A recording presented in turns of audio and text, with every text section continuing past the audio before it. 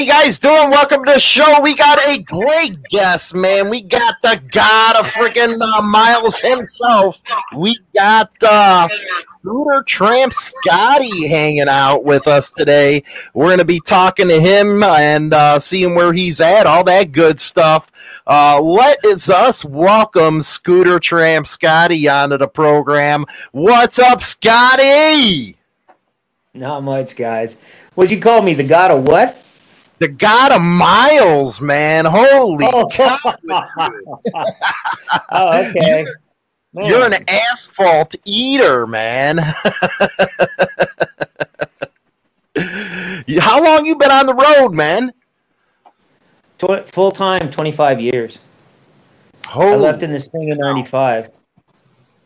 Spring of 95 you know for those that don't know uh, who you are give them a background of your story because it's one of the uh, the best scooter tramp uh, st- stories i know of man. Uh, just give them a little background why you left why you decided uh, to leave the rat race and all that good stuff. All right. Um, well, by the time I was in my late 20s, you know, I I come from a, more, a simpler background, but by the time I was in my late 20s, I thought I would try the American dream. Uh, I'm a roofer by trade, or at least I was. I'm kind of old for that now. And I got the three bedroom house with the two cars and the truck and the washing machine and the furniture and the color TV and all of that stuff. And uh, for a lot of my friends that worked for me, it I hated it. And the problem was this little basket of bills that was on top of the refrigerator. And every month I'd put that thing on the table and I'd uh, start going through it to see what I could pay and what I couldn't. And you know, there was a, a bunch of different things that happened, but it, in my case, it made me miserable. It made me poor. I think that the real definition of wealth is when you find that you like yourself more often than you don't, and you even think you're a really cool person some of the time, or at least somebody you like being around, and you find that you like your life more often than you don't, and you're even excited or ecstatic about it some of the time, because nobody's those things all the time. So that place was making me poor, and through a series of different things that happened, I left there.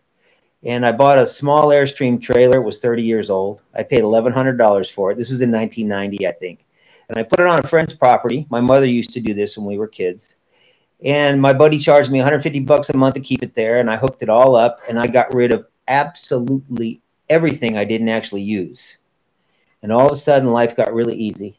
All my bills were about 160 bucks a month. And all of a sudden, I was working too much. I was making too much money. I owned the little business. And so I began to, it didn't make sense. So I began to work two to three weeks and take two months off. And I'll tell you what, you guys, I got bored. And I started looking for different things to do. And I tried a lot of different things, but I really hit on motorcycle travel. I'd always had the bike. That was one thing I did not get rid of. And I started going with friends, and then I started going alone. And the trips started getting, they started off with just a few weeks here, or a week here, 10 days there. I'd go over to Arizona and the trips got longer and longer and i started hating coming home then i started just hating being home. When i was home all i wanted to do was leave again. And so i began looking for ways to stay gone. Now i didn't know if that was possible. So i'd never heard of anybody doing it before. Sorry guys but i'm holding this phone by hand here you know. Anyways so so you know i was the first time I took off for a month was in 1991, and after that, I the the next up until 95, I guess, I took off in the summers and just wouldn't come back. And sometimes I'd run out of money and keep going, which was weird, but that worked. And so I began to look. What I wanted was I didn't want a life of sleeping on picnic tables in a park. You know, that's okay for you know, a trip or even for a summer, but as a way of life, it really wasn't happening. So I was looking to try to engineer a way of life that was comfortable enough to work as an everyday long term lifestyle. And I achieved that a long time ago. Once in a while, somebody asked me if I wanted to settle down, and I'm like, I've tried it a few times. I thought maybe I wanted to. But for me, it's much too hard of a life. This is much easier. And the thing is, I get bored.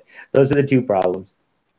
What was the biggest thing that scared you when you first decided that you wanted uh, to live on the road? What type of things came to mind that mighty gave you pause? I had a real problem with uh, doubting my sanity. Nobody else was doing this back then.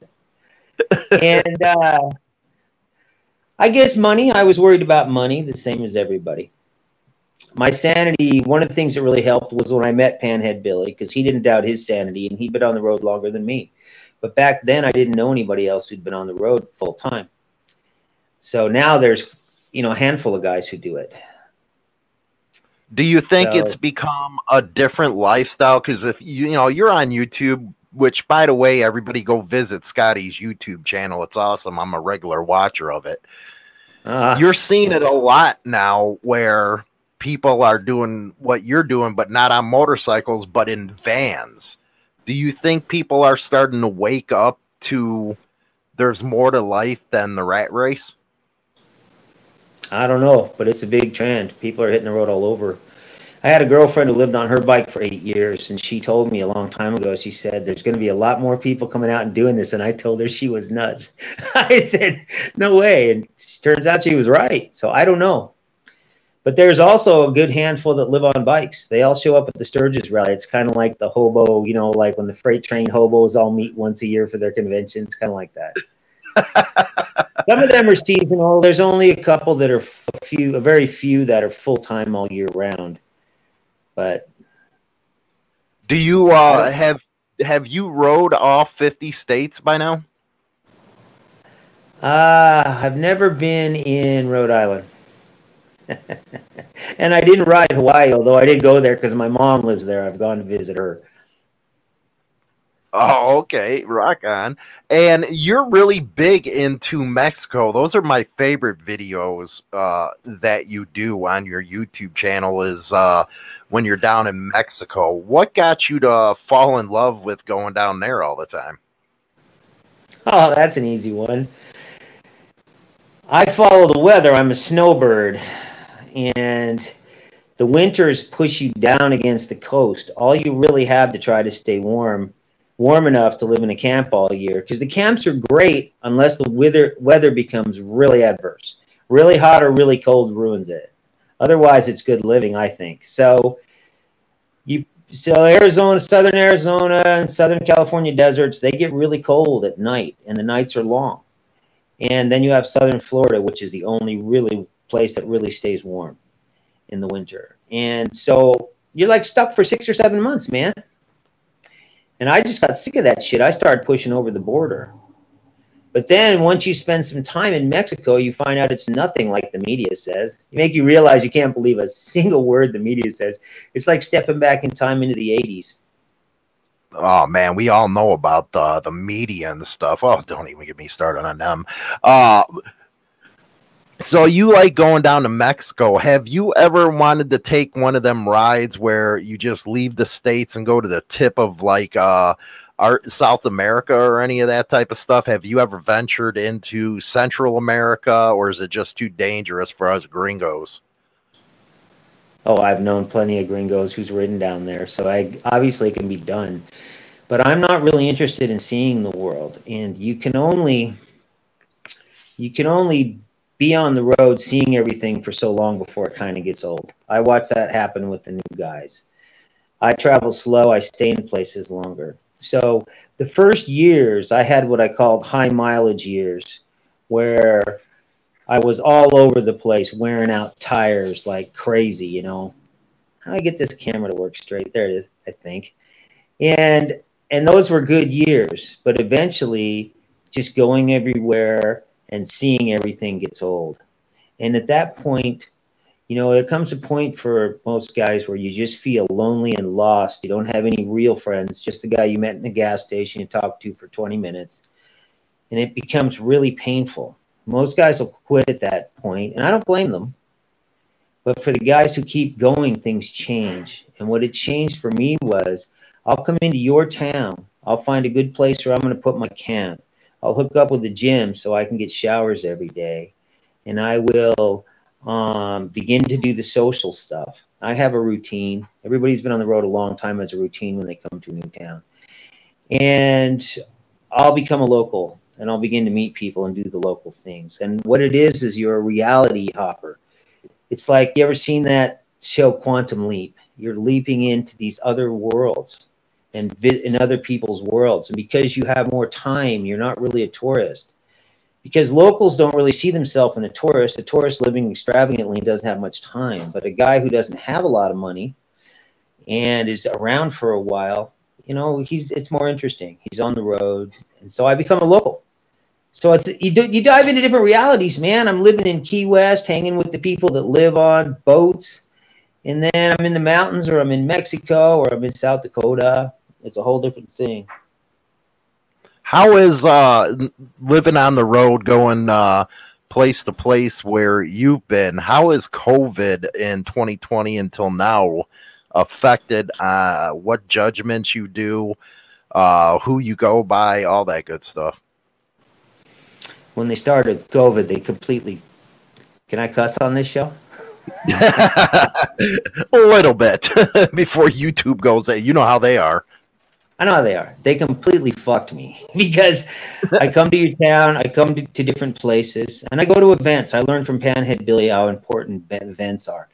But I come to a place and find a camp, hook up with a gym, do social events, and you know I work at home now. I spend a lot of time at home. I work from the computer and all that now, and I'm lazy in the mornings. And so they shut everything down. So here I am going from town to town and just camping in different places and taking baths in creeks and rivers and whatever I found, right? So to adapt, what I began to do was people invite me to their homes a lot, but I usually don't go because honestly, I want to go to my home. I feel at home at my home, not like I'm in somebody's house. So I started taking people up on their offers. That's worked out good. I still go back and visit a lot of people now. So that's what I did. And then well, I skipped across the border, and in Mexico, they weren't shutting everything down too much and all that. So last right. winter. Well, you as a YouTube creator, before I go to uh, the rest of the panel, you're doing what a lot of us are doing. You're heading over to Odysee. you're heading over to BitChute, and uh, you know the other platforms. We just got a Roku channel. That way, we don't have to deal with the censorship over here. Uh, but what got you into the other platforms? Is it the same thing that we were all experiencing with uh, the censorship? Censorship is un-American. It's unconstitutional. Zucker Dick censored me one time, and I moved to MeWe. I won't go back, and it's not good for because I have this channel and all that.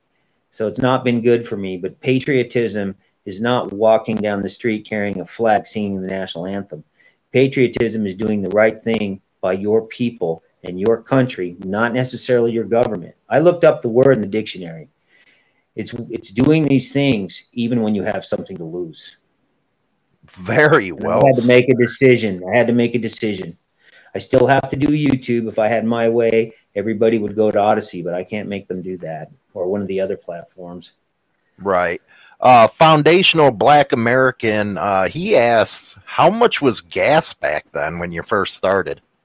I don't know, but I do remember one time going to the gas station and they wanted six bucks to fill my five gallon tank, and I was so pissed off. I, I, went in there and ranted and raved about it, you know. So right. I don't remember, but now you could put, you know, twelve bucks or sometimes 15, you know, when the price is up. So, how is it in Mexico? It's about the same. The about gas. The same. Their gas don't have ethanol in it, so their gas is better than ours in general. Right. Well, we're going to go to our panel. J Man, you're up first. What you got for Scotty? Got to put your mic on, man.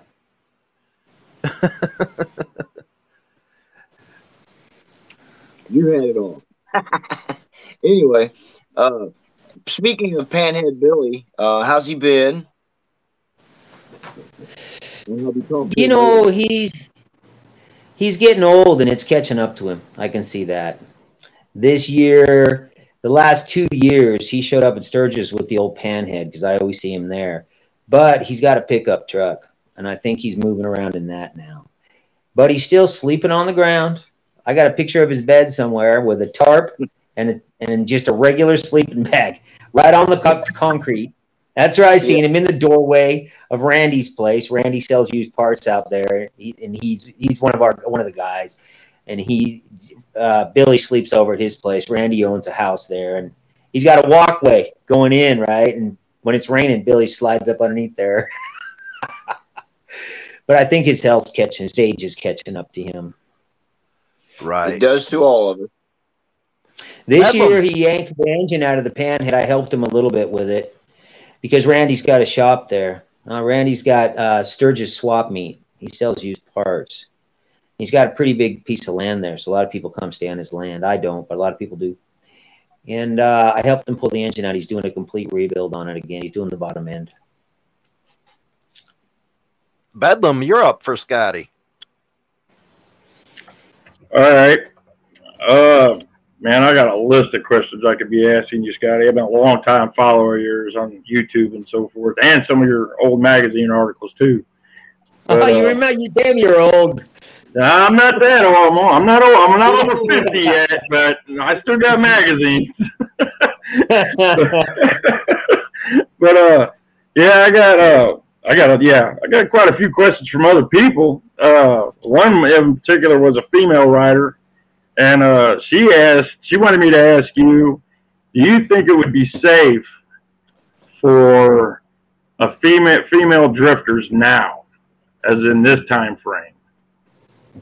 You know, Man, I I would suggest it's it's no more dangerous now than it's ever been. I would suggest that what's her name? Uh, well, she didn't ask me to give her name, so Oh, okay. I thought you know whatever. If I don't know if she's watching, I would suggest going and watching some of Itchy Boots. Have you guys ever watched Itchy Boots? she Yeah. sounds familiar. No, to So him. she- huh? Is it i- is it Itchy Boots here on YouTube? Yeah. Okay. She's traveling around the world on her motorcycle by herself, and she's been doing that for a few years. And that's what her Uh-huh. channel is. Now she's, I think, from Sweden or something, but she does her all of her videos in English. So I've known a few. As a matter of fact, I'll tell you what, you guys. I don't make a whole lot of videos because it's like too, it's like full time work. If you make them, you know what that's like. You're working like every week. You're working hard to put them out, and I don't really need to because my life's inexpensive. But um, there are a few drifters out there that some are working very hard to bring you their stuff, like Itchy Boots. But there are a couple out there I know that don't want anybody knowing them. Barbara Jean has been on the road for many, many years. I see her at Sturgis every year. I saw her there this year.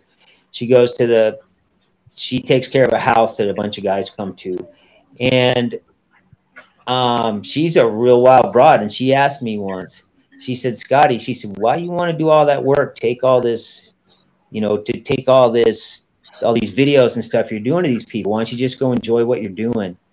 And so, see, I am somewhere in between Itchy Boots, who works very hard to bring you what she's doing, and Barbara Jean, who doesn't want to get involved in that. She just wants to go enjoy what she's doing. There's another guy I know out there doing the same thing. I'm in the middle. So I think so because there's women doing it. All right, go, Go ahead, Bedlam. You got a couple more. Go for it. man. Uh, okay. This is a morbid question. I don't know why somebody wanted me to ask this, but yeah, it was in regards since you're on the road. How would you? Okay, I don't. I don't know if you got like a uh, a base, or how would you handle it as far as like an emergency situation? Say like you know, I know you're getting up there at age. Say like you're over the road drifting and you find one of your uh, lonely spots, but yet you're not able to get out due to an emergency, heart attack, whatever. But you know, I mean, what what would you end up doing? That's the question. Well, I guess I'd die there. yeah, exactly. I mean, I got a telephone. Everybody's got one of them now. Well, yeah, but that, I mean, that, that it was a morbid question on how it was asked to me because I was told him I was like, well, he's been over the road for 25 plus years. He would just not get out. he would just be stuck there. Well, so, what would be the difference if that happened to you in your house? Well, that somebody would eventually stumble stumble across me. Yeah. But if you're out in the boonies or out in one of these abandoned places like I know you do in your videos, what's the odds? I guess I'd call somebody. Well, you I got my bike stuck trying to get out of one of them places. I've been stuck before. Once I was so stuck, it was like four hours to get out. I didn't think I was going to be able to, and there was nobody to help me. I finally had to figure it out. Oh, okay. I mean, it was. I did. I made a. I did a magazine uh, article about that. That was before the videos, but oh my yeah. god, I'd never seen nothing like it before. Yeah, the way I was stuck, it was amazing. I've been. I've been stuck lots of times, but not like this. Yeah. How was uh, how, you, you bring up because uh, you were doing magazine articles, and we're to go to Dark Soul next. How did video? How did YouTube change everything for you? Easy Rider Biker Magazine. They used to actually pay money, so it was worth it. I would get six to twelve hundred dollars an article, depending how long. But there was a couple of things. I was a young man out running around the country chasing women. I mean, they were a major part of it back then. And going to all these events and having a good time. And I just, it was too much work. So I was not consistent. So I was just a contributor. I think one time I had two things in at the same, on the same month. Because I needed money. I told the editor, I said, pay me for both of those because I'm going to Mexico. That's what I was doing. So he did. But yeah, but it was harder because it was all film. You had to develop the film, go through the pictures, and then it was all done through the mail.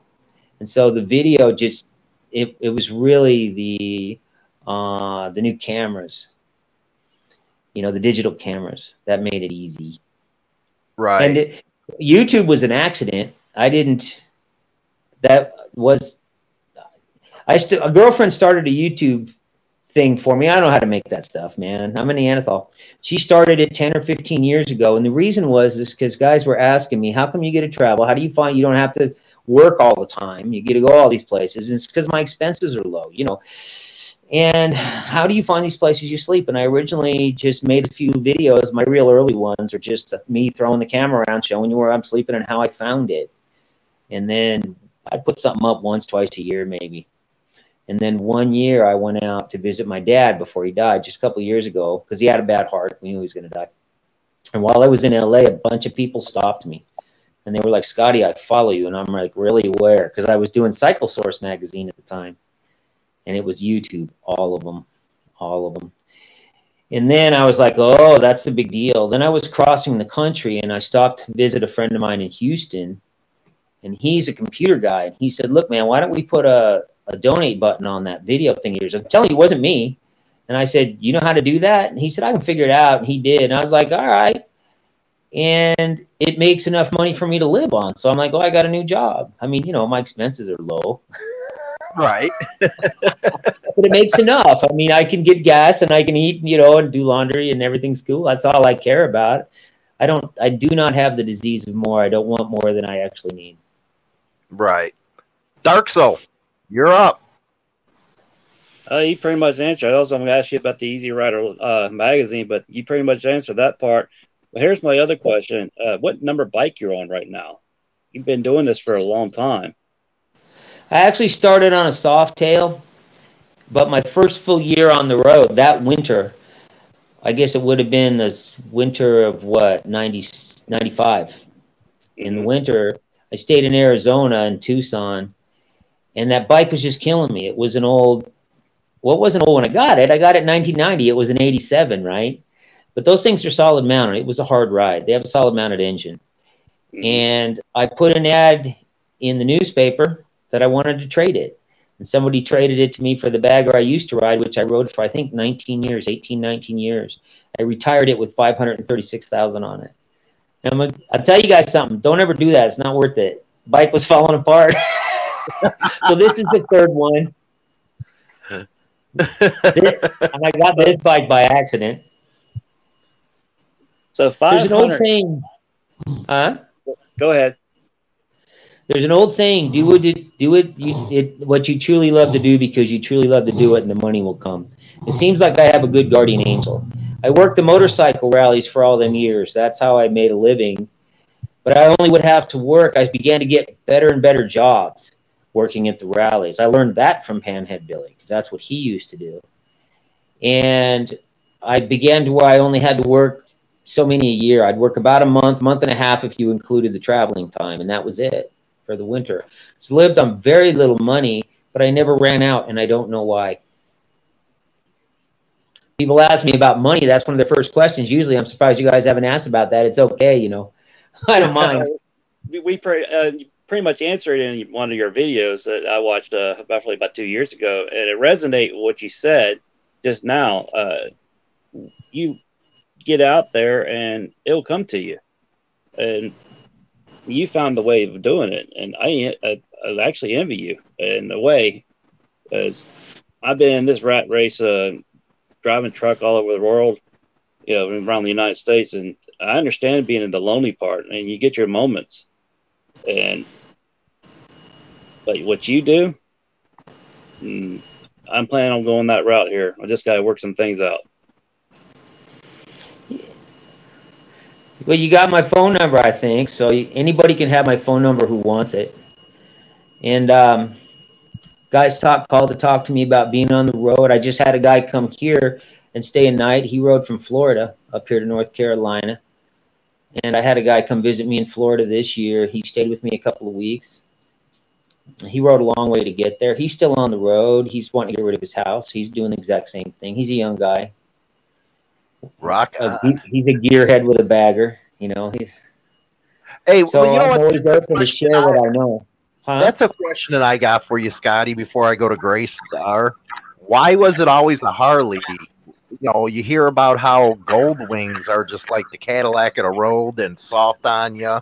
Have you ever thought about something other than a Harley?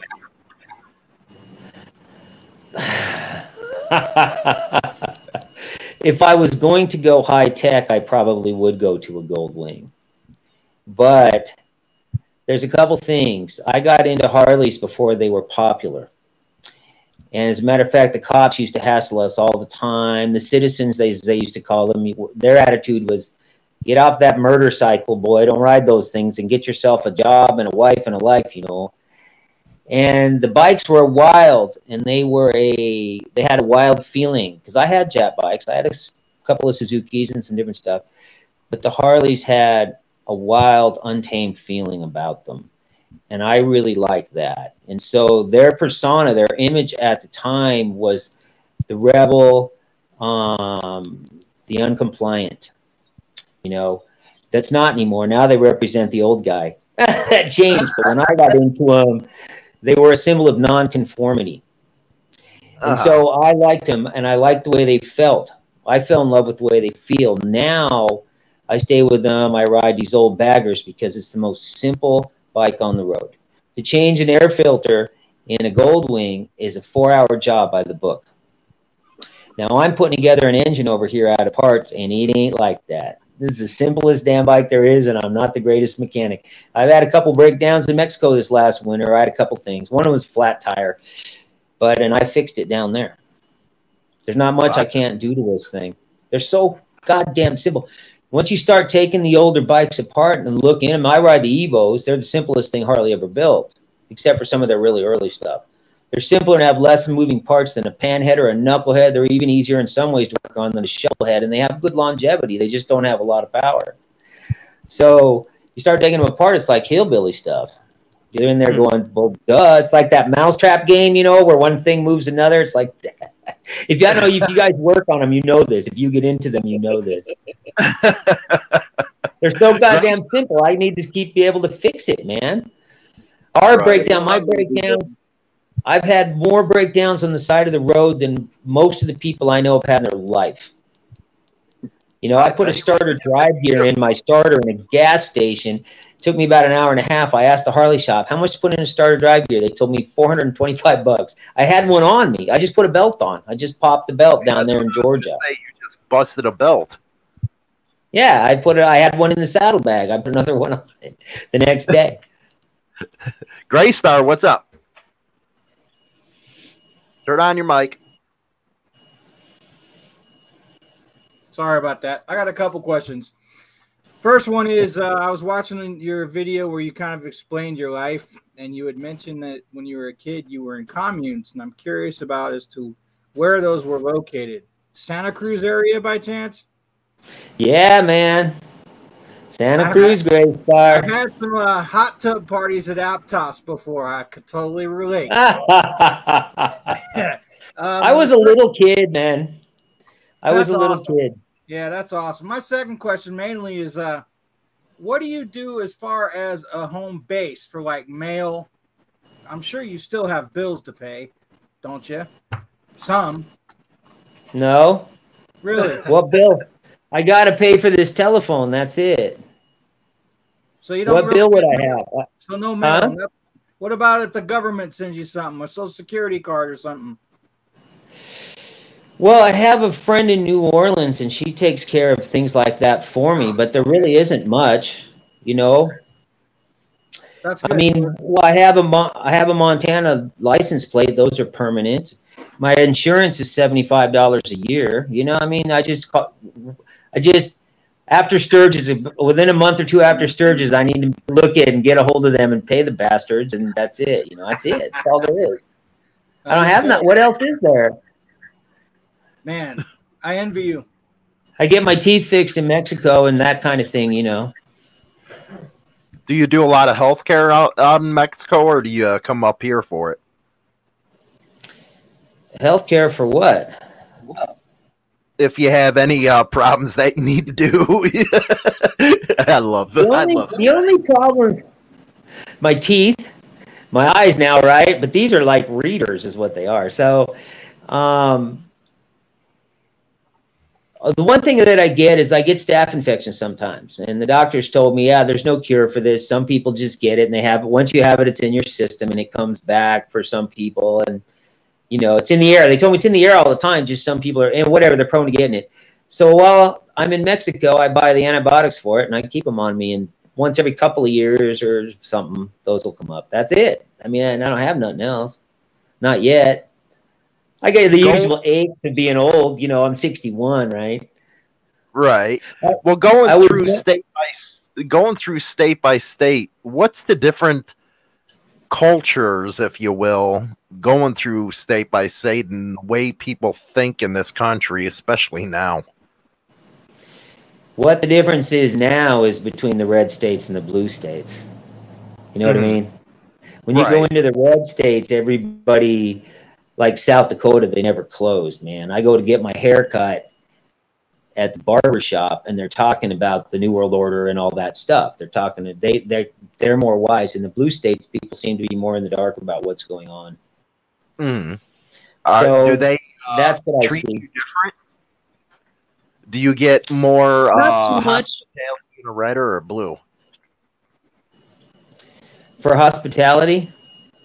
The blues mellowed out some because I'm in a blue state this year, and they're not all screaming at you if you're not wearing a mask anymore. they were last year. I couldn't. I lo- I love this town when I first came here, but over the years it's gotten funky. And last year I couldn't stand it. They had the whole mm-hmm. BLM painted downtown on the walls and everything boarded up, and it was horrible, man. Absolutely horrible what these people do to themselves. Just because the television's telling them to do this to themselves and they do it and they, they get miserable. So in the red states, people tend to be happier, that's for sure nowadays.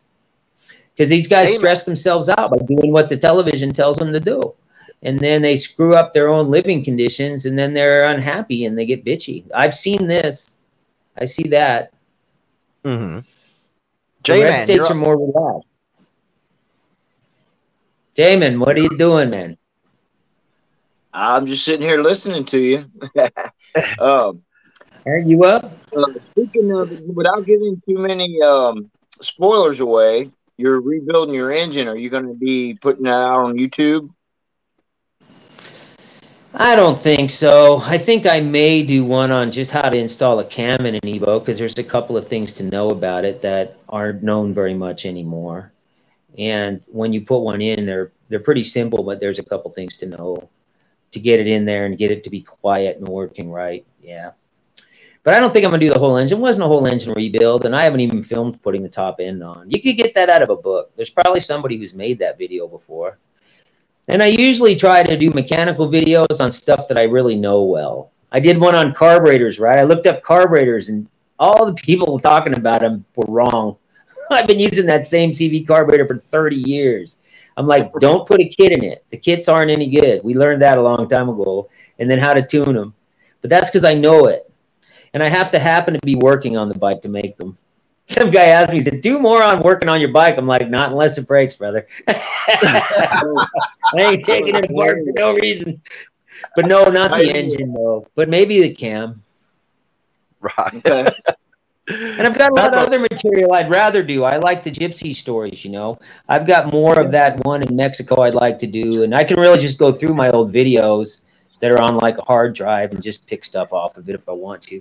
I just I'm not going to go back full time into the rat race. I'm not going to work making videos every week. I tried that. It's just like a lot of work. Oh, you got that right. Bedlam, what do you got? You know, I always enjoy. When, I, I always Alright. enjoy when uh, my notifications pop up and it says Scooter Tramp Scotty. I know I'm going to get a good one. good, good. I appreciate that you've watched more than one. I mean, Oh, oh, I want to know that. I really appreciate that. I think all of us do, man. We all wait for your notifications. You're you're an Really? asphalt. Man. You're And a I, I legend. check, I check, I check, it, I check his YouTube page daily. Really? we all Like, has he do. got a new one? You know, I'm so surprised by that. I really am. That people Yeah. like like this stuff. Don't Yeah, be. I'm so surprised by it. Don't be. Don't be. Yeah, th- I wouldn't be surprised at all. I mean, you do, you do great content. You know, I, I love watching it, and you know, I, I- wish I could get out just like that, but I got a little bit of extra responsibilities here, so I have to deal with what I got first. You know, just like ever- everybody else usually. If, if they're lucky enough to ride like they can or ride like you, they're damn good and lucky. That's all I got to say. You know, but as far as uh, you know, it, brings me up to this. You know, you inspire a lot of riders. You know, to actually get out and ride more. That's what it boils down to, and you know, I mean, since you inspire so many riders, who actually inspires you though? Besides Inspire yourself? who actually inspires you? Who inspired you to even take to take this route? Or was it just a thought to do it? I was a fan of Marla Garber, but she's not actually who inspired me. When I used to live in the trailer, there was a couple who used to go on motorcycle trips a lot, and he knew they had situated their lives simple and inexpensive so they could. Fitz and Vicky, and I don't know where they are anymore, but Fitz knew that I had time and a bike. And so he would always call me and say, We're going somewhere. And we'd ride 500 miles out, stay four days, and ride 500 miles back to a, an event. But I was, I would say Marla Garber. Any of you guys know who she was? Mm-mm. Never heard of her. She wrote, she wrote for Super Cycle magazine. She lived on her bike for eight years before she died in a motorcycle accident. She was a Canadian girl and she was a nice looker. And I didn't care for her material that much, but I was inspired by her. Full time, she lived out there. She she was from Ontario. You can Google her, and you could. There's not a whole lot on her, but she's still there. Hmm. And she always rode a bagger. when I started riding baggers, they were so not cool. But because Marla rode one, I decided she was cool, and I could ride one because I was traveling so much, you know. Mm. So that would be it. Her and then Panhead Billy helped me a lot just because, just being who he is, you know. Okay. I mean, that answers my question. I mean, Marla Garber, man. Yeah, you yeah, can put her. in I'll, I'll definitely have to look her up. Yeah, so I started, you know, I didn't, I never knew. I was a young man and I was out doing all these things and I was excited and I wanted to share it with people. And when Marla died, she died in 1995.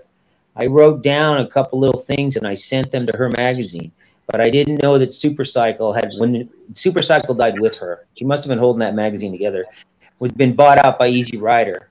Easy Mhm. Rider owned five magazines. The next thing I know, I'm talking to the editor of Biker, and they had this one new guy who really liked my material. The magazines weren't interested in it. They want to do the mainstream stuff. They weren't interested in on the full full time on the road thing. But this one associate editor was, and he pulled crazy strings to get me printed. It was shocking. Some of the stuff I turned in didn't have, I didn't have pictures for it. And for the fiction, they would get fiction stories. They'd get an artist to draw a picture for it. And the editor told Stan, I'll print this for you, Stan, but I'm not paying an artist.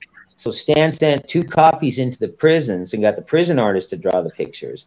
And then when the stuff got more popular, uh, the editor for Easy Rider, Dave Nichols, picked it up and he got three uh, three paintings done, three pictures done by Dave Mann. You guys remember him? Oh yeah. I have Yep. three original pieces of art for three of my stories from Dave Mann. So it was really hard to get my foot in that door. But I did it. My point is, I did it because I wanted to share what I was doing. I wanted to inspire people to do, follow their heart and do what they wanted to do, regardless of what that was. And if nothing else, I wanted to entertain them. And I didn't even know they were going to pay me. Right. And YouTube's the same way. This is why I'll never sell out. My main motivation is never money. Mm-hmm. Now I'm You know making a living at it, so I'm really happy about that. I hate working motorcycle rides. I'm so sick of it. Well, you know what? You know, you were kind of surprised that people watch your all your videos as soon as they come out. I think a lot of people are living through you because they're so envious of the position that you're in to be able to do all this kind of stuff. Would you agree? That's what they tell me, Mr. Hollywood.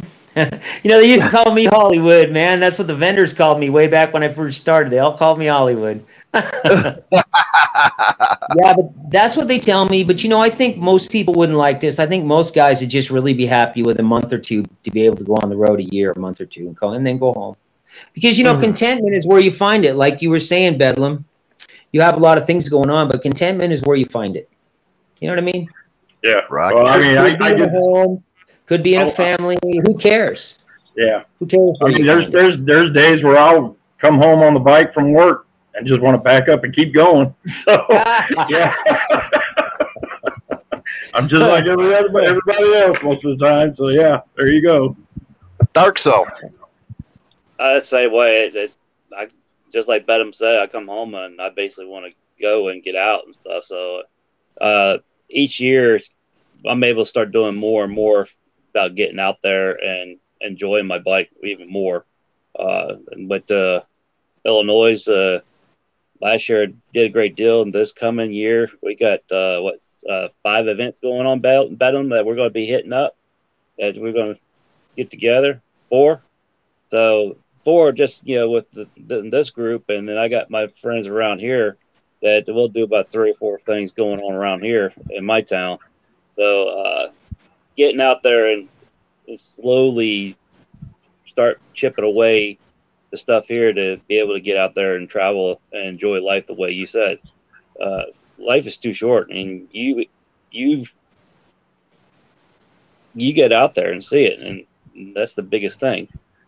I enjoy it, and like uh, Hollywood says, uh, through you and a few other creators are actually doing some uh, deal. Uh, it's get to see places where we could stay at and campgrounds.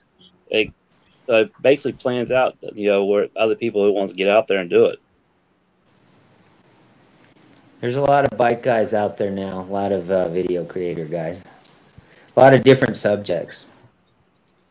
Well, Where being on the road all the time, being on the road all the time, I'll tell you what happens is I'm mellower now because I'm older. When I was younger, I read some of my old stuff. I was just like, I was just extreme for any weird adventure, anything. Anytime it got strange, I chased it like a like a dog after a rabbit. I, I read some of my old stuff. I'm like, who is this guy? Whether it was a crazy woman or some strange event, and it made for really good stuff. But stuff happens out here whether you want it to or not. It just little adventures come your way, the ones that you could never plan. It's strange. You know, so there's like these places of these times that's kind of boring, interrupted by these great adventures that happen. I will, I could never put them all together, and I certainly could never write them all. There's just, I'm shocked when I look at all my old pictures from when I had filmed. I took a lot of pictures because of the magazine thing, and I'm just shocked so much can happen in such a short time. So Where is the weirdest place you've ever stayed? i am sorry, Dark. So you can go after. Where is the weirdest place? Oh my God, I, that'd be hard to pick from. Especially in the early days, I, when I didn't know what I was doing, I stayed in some weird ass places. But uh, one was an abandoned factory because it was raining in Colorado, and that place just had the screw most screwball vibe. But I've stayed in so many strange places I couldn't even begin to tell you. Wow. Mostly if there's a storm, you know, and I'm I want to get under something.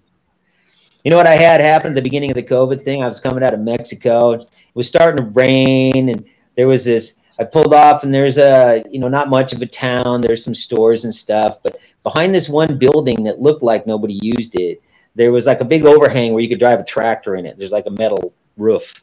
So I'm under there, and I slept, and this cop wakes me up at like two in the morning, three in the morning. He says, dude, what are you doing here? He said, you can't stay here. He said, what are you doing? I, you know, I told him it's right at the beginning of the COVID. I go, well, I started feeling a little sick. and so I wanted to pull off and get some sleep. That fucking, he took three immediate steps backwards, man. I'm trying to not laugh, right? And he, he goes, he goes, well, you got, I mean, it was just comical. He goes, well, you, you can't stay here. You got to go. I go, okay. So he leaves and I go back to sleep, right? So he wakes me up in the morning, I early in the morning, but he won't get out of his truck. He drives his truck by. An interesting, an interesting one that happened this year north of Puerto Vallarta in Mexico. I found not very far north on the north end of the city. I found a, a place to sleep. I wanted to go into the city in the daytime, but I'm still actually kind of in the city, but not in the middle of it yet. So I found this dirt road going off to the right, and then it would hang a left, and there were some trees. It was a perfect, beautiful place to stay. But when you hung the corner, the road was so rutted, I didn't know I was going to be able to get my bike through there. But I made it in there that night. I went to sleep. The next day, I go into Puerto Vallarta, and I I met this dentist that I really liked, and I had him fix my teeth. And then there was a lot of stuff going on in the evening. So I hung around there, and I didn't get back home till three in the morning. I pull into this thing, go around the corner, dropped the bike on its side. I can't pick it up, man. I unloaded everything off it, and it's three in the morning. I can see my spot. I just want to go to bed. And finally, I get my tools out, take a file, and dig out underneath the, the, both the wheels, and I could pick it up for some reason. I go in there, and make camp. Next day, I'm like, you know, I'm not leaving here early. I'm going to stay here until I want to leave. So it's probably 10 or 11 in the morning, and I hear a guy yelling at me. And I look out through the trees, and there's a guy standing there through the trees, and he's holding a rifle right? Now I'm in my pajamas still, my thermal underwear. I think, well, I better put my pants on for this, right? So I put my pants on, go out there to talk to him. He's gone. So I'm like, ah, it's time to go anyway. I start packing. It's just like 11, getting close to noon or whatever. Might even have been afternoon. I remember. And a bunch of cops pull in, and they got the little guy with them. And the cops get out, and he says, "What you doing?" I says, "Well, I camped right there. You can still see my tent up." I says, "I'm right there. I just stayed the night here." The cop goes, we, we're going to go look at your camps. They go look. I'm like, all right. They come back. Guy says, you're a gringo. I'm like, yeah. He says, okay, we'll see you later. We'll see you later. They take off. Yeah, because there's a lot more freedom in Mexico. So they take off, and a little while later, the guy comes back. The little guy who had the gun, he had a rifle. He was holding a rifle, and he what didn't have the, the rifle with him no more. And I says to him, I says, "Is this your land?" He says, "Yeah." I said, "Was it? Are you up mad?" He says, "No." He says, "I came by just to tell you that you can stay here anytime you want for as long as you want." that was last winter. Well, I seen. Yeah, uh, I, was, I seen where you were behind that little billboard or whatever it was, and uh, what was it? Ten bucks that you had to throw their way. Yeah, I could tell them stories for the whole show, you guys. You know, the rich girl I met down in Oaxaca and lived in the big house with the servants for a couple of months, and she paid for everything. That was a typical poor uh, gringo, poor American white boy meets rich Mexican girl story. and she put a tire on my. I mean, I could tell them stories for days, you know. And I've got servants bringing me breakfast and coffee in the morning because everybody down there with money has a servant because they're cheap. She had a three bedroom, three story house built on the side of Monte Albán for the view of the city. I, you know, I could go into those stories for the rest of the day. I, want to say this, Dark Soul, something that you were talking about sparked it. This was my experience, okay? Once in a while, I get a guy comes on my stuff and he says, You're just some kind of a mooch or a leech or a bum or whatever, which really kind of pisses me off. You're always going to get trolls. Because if you ever seen me work the rallies, you know I work my balls off. But the reason is, is because I don't own much. He work, most people work for their bills. So I wanted to say that when I moved into my trailer, which is what really set me free, I hitting the road was not what got me out of the rat race. What got me out of the rat race, hitting the road was a byproduct of first getting out of the rat race. So what I learned in that, I probably talked about this on another video, but the way I seen it was it's like it's life it's like a scale, man. On one side, you got stuff, and in the other side, you got freedom. And the more I put in one, the more I gave up of the other. There was no gain. It was simply a choice. When I told my dad I'm getting out of this big house, you know, I just left that house with everything in it. I loaded my truck up and left. But I told my dad I'm getting out. He said, "You're you're making a mistake leaving all this success, son." And and I and I was like, "What do you know of success?" My dad was never very successful, right? but uh, too much, you know. But uh, that was the point: is more stuff for me equals less freedom. Even my rich friends, I have friends that are rich, tell me their stuff owns them. They have to run around to hold their empire together. So for everything that I got rid of, just tilted the scale more. The every I don't care if it was a knickknack on my shelf, it tilted it a little more and a little more to a point of where my material needs were simple and taken care of. My little trailer had everything and even air conditioning. And uh, but I had a lot of time and I still had money. So it's a it's a trade, trade for stuff. That was my experience with it. What is your favorite rally to work? Throughout those years as you were doing that.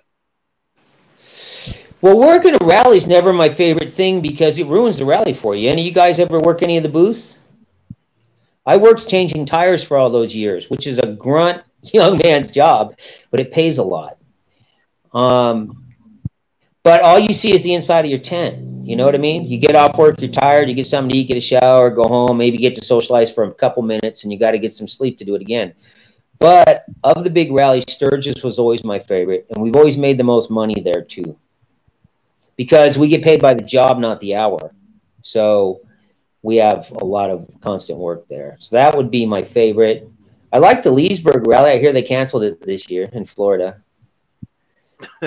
So Jack, I don't know. Jack in the chat room just said uh, we have to ask this one. Scotty has had more girlfriends than most dudes have miles on their speedometer.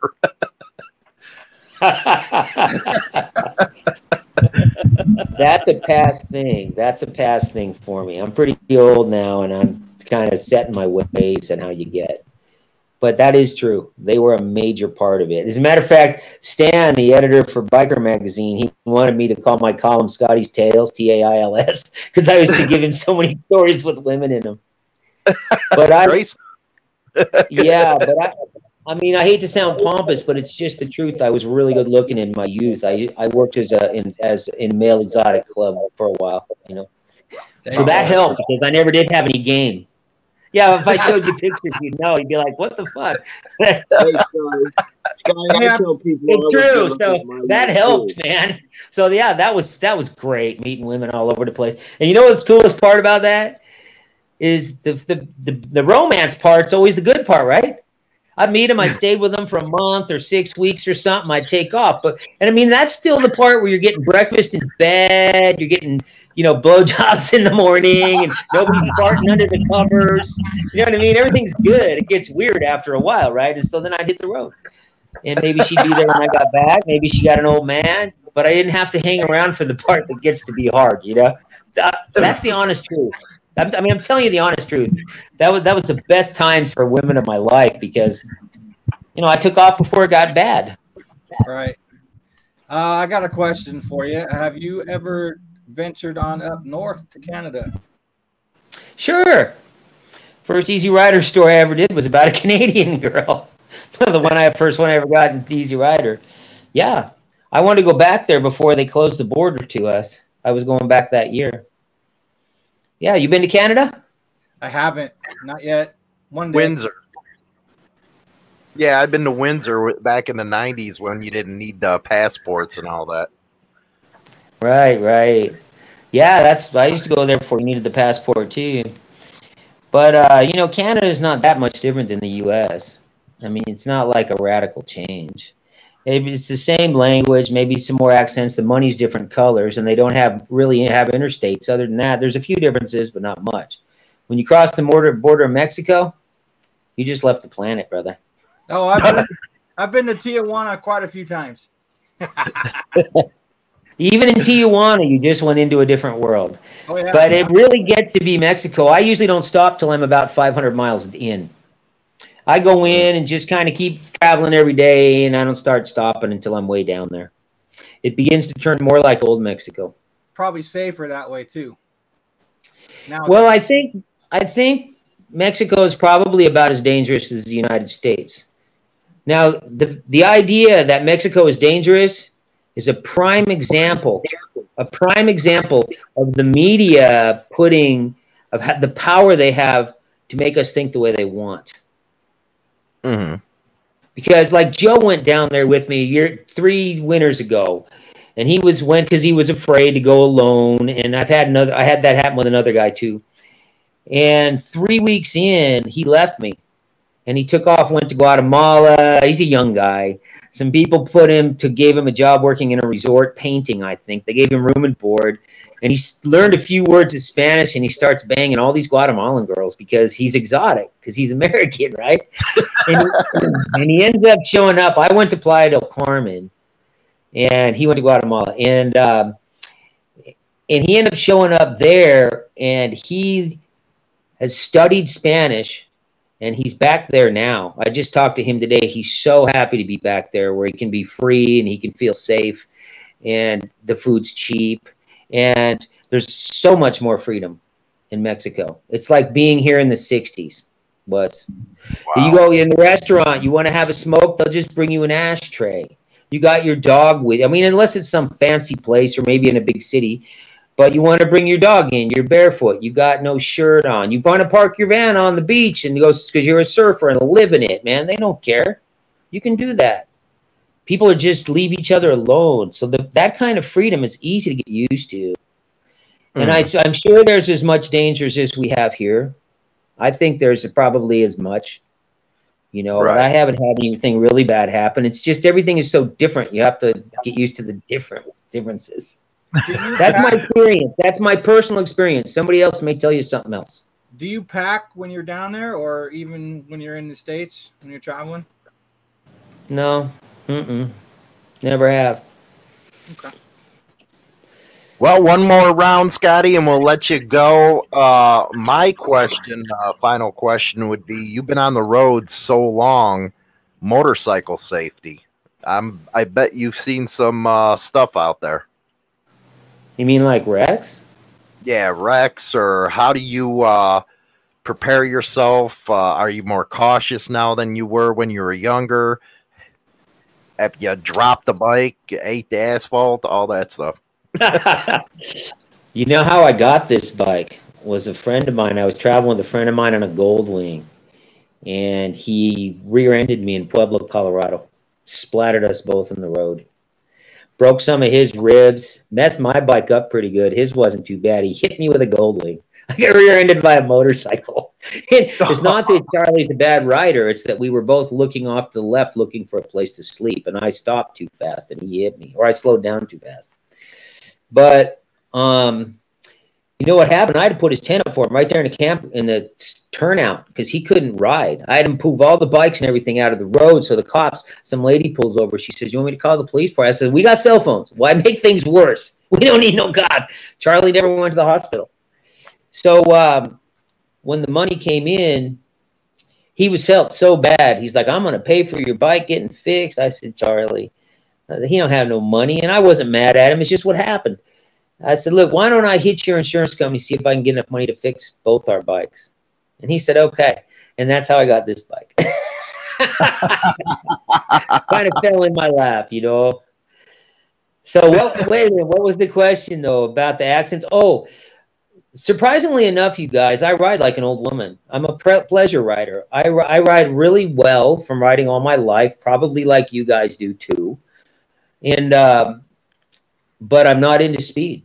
I ride really easy. I'm the easiest on my engines. I'm a pleasure rider. I want to, I want to take in the sights and enjoy the ride.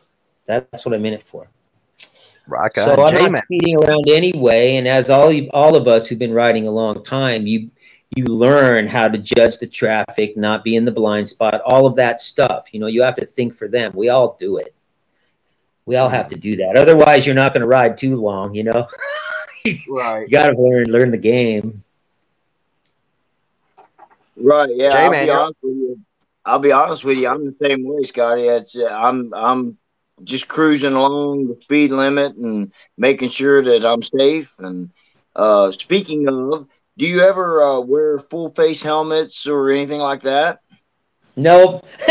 and sometimes when it's really hot out, I ride barefoot in sandals.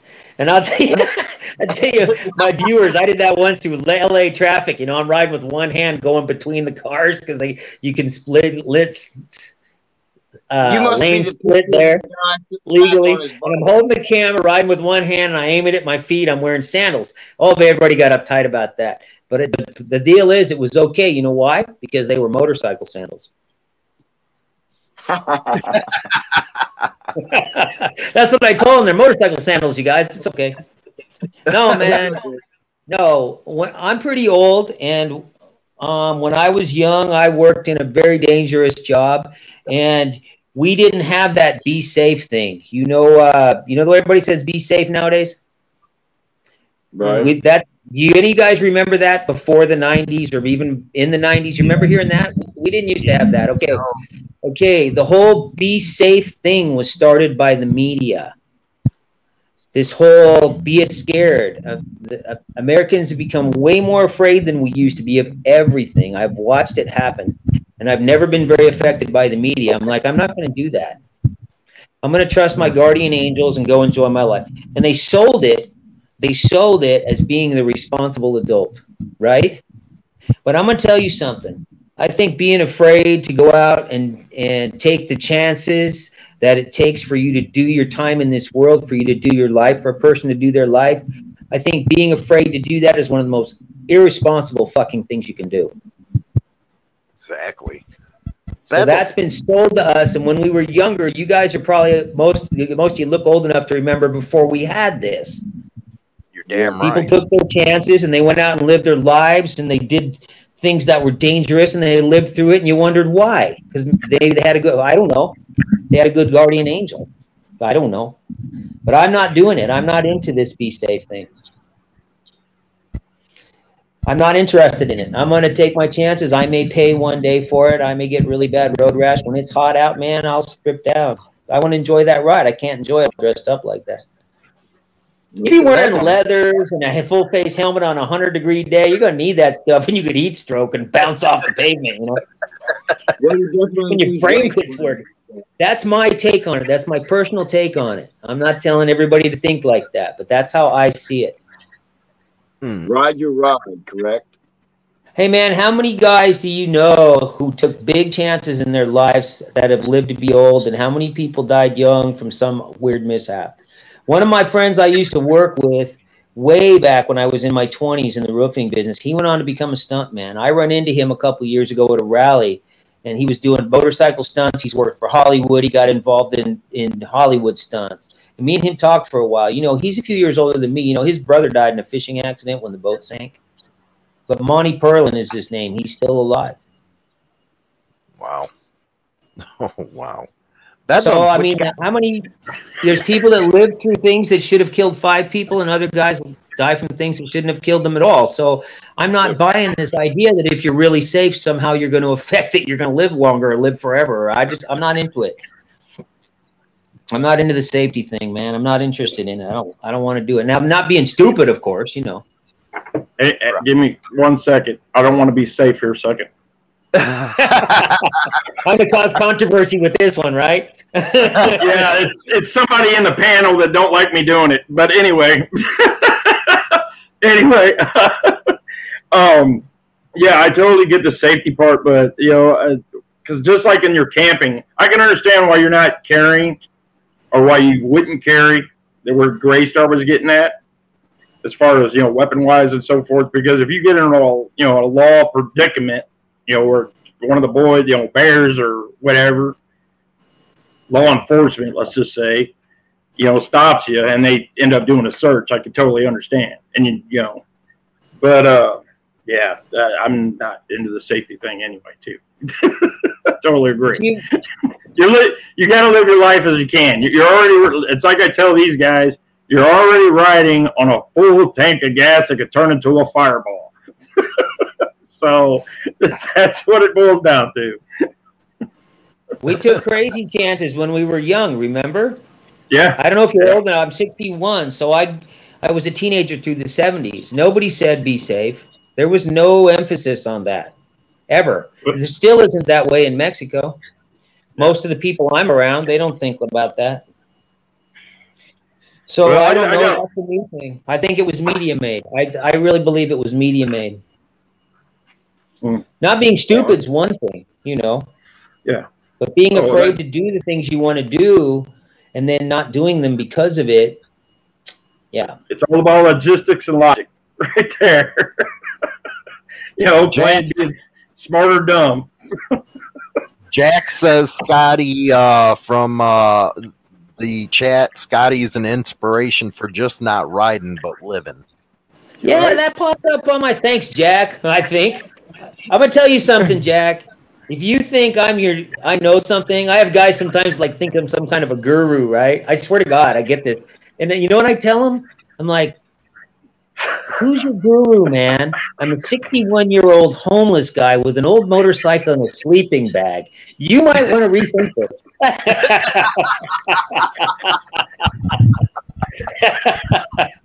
no, but thanks, Jack. I'm just kidding.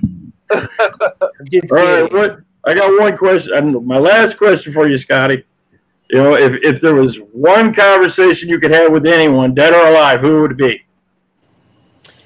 I think, uh, could the conversation involve a gun? it would be with Bill Gates.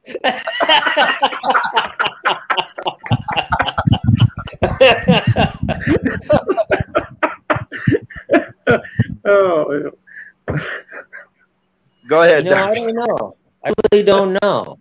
Do you have somebody you would like to talk to, with?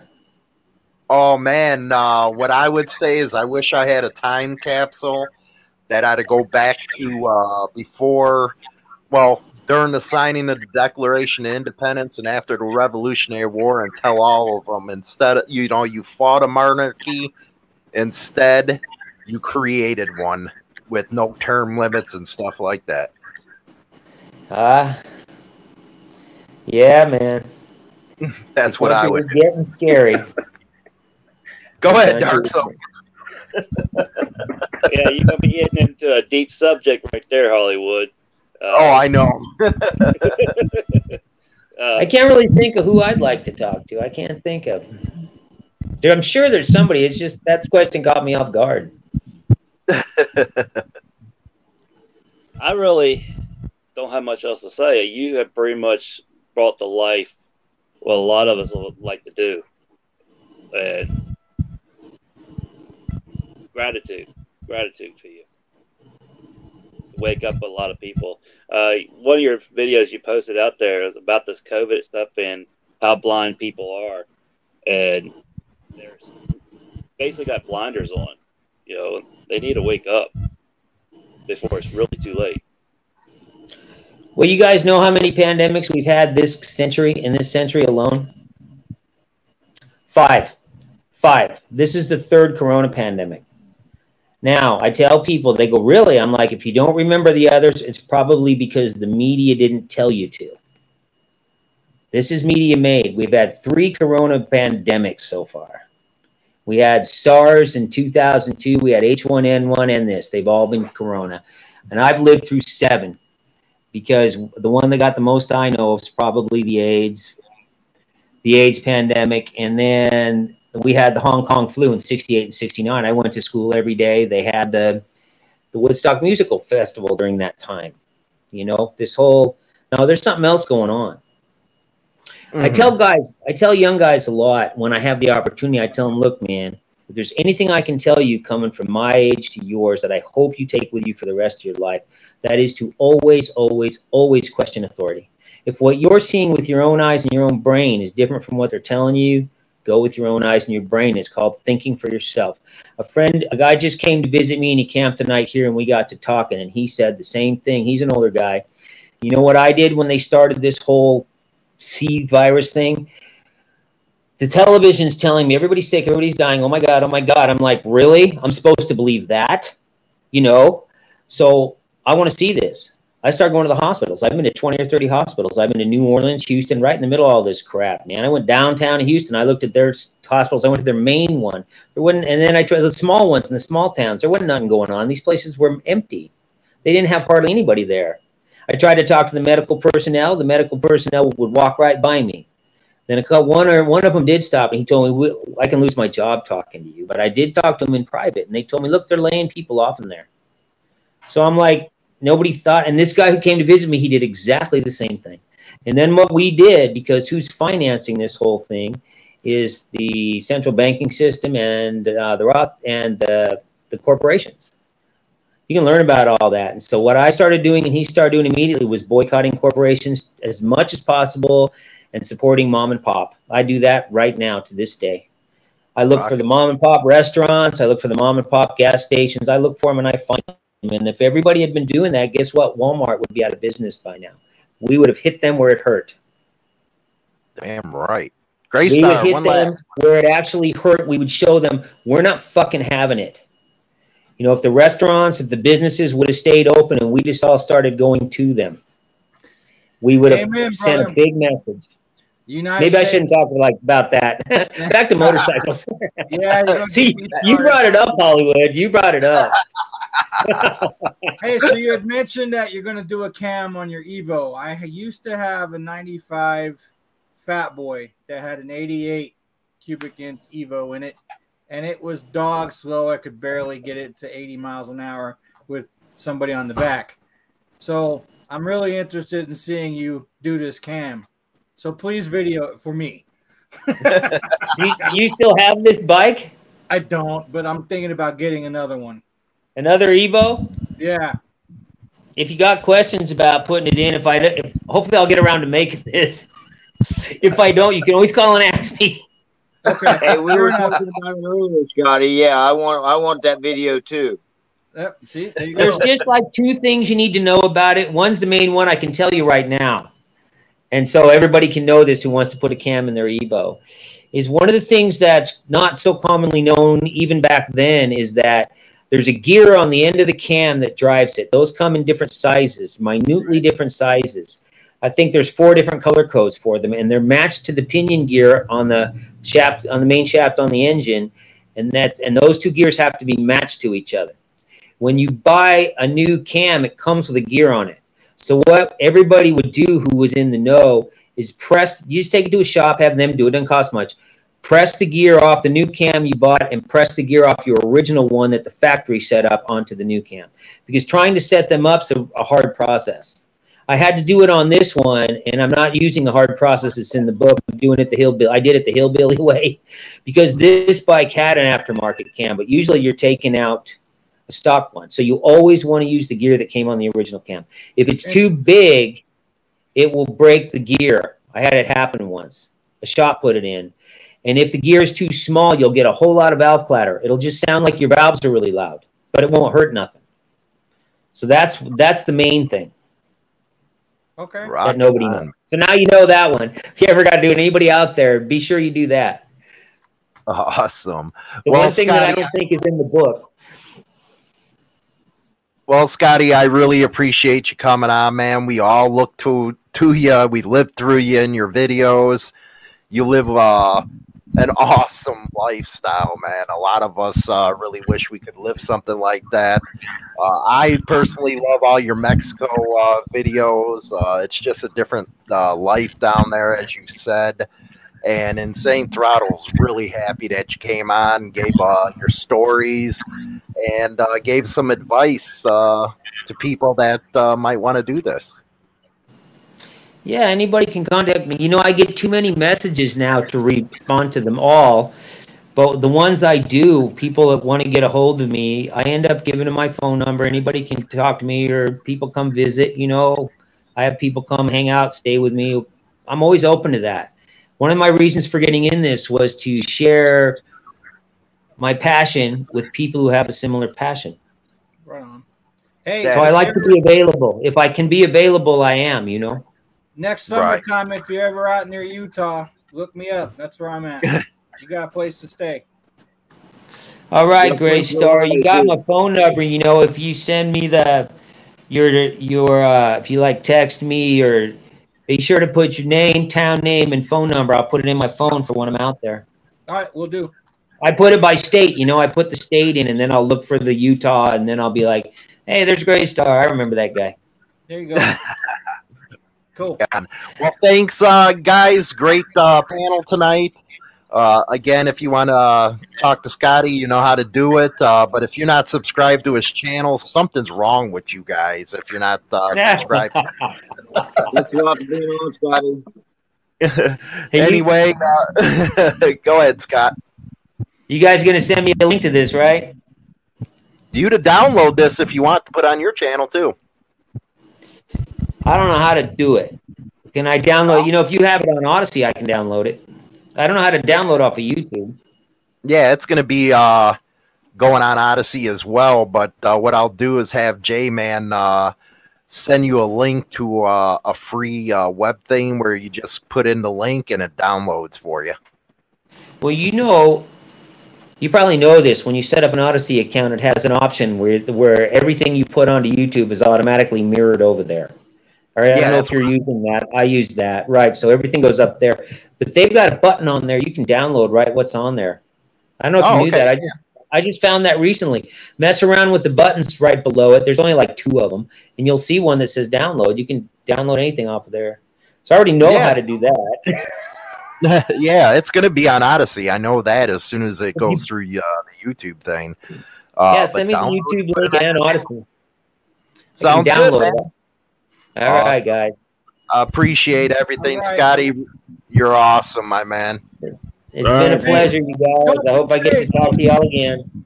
Yeah, I'll send you my information, Scotty. If you're ever in yeah, St. Louis, yeah. though. Be sure to remind me. Well, these you yeah. guys got these crazy names. I should remember. We all got crazy, crazy names. Look at mine. awesome. You know, well, cool. but yeah, if you're in Illinois, man, same thing.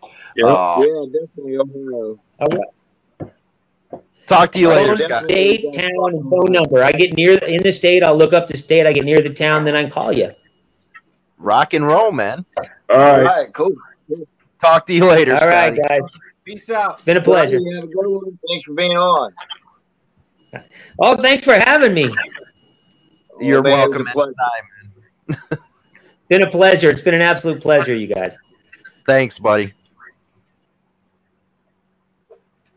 So what do you guys think, man? Uh, Scooter Tramp Scotty, man. He is the asphalt god, man.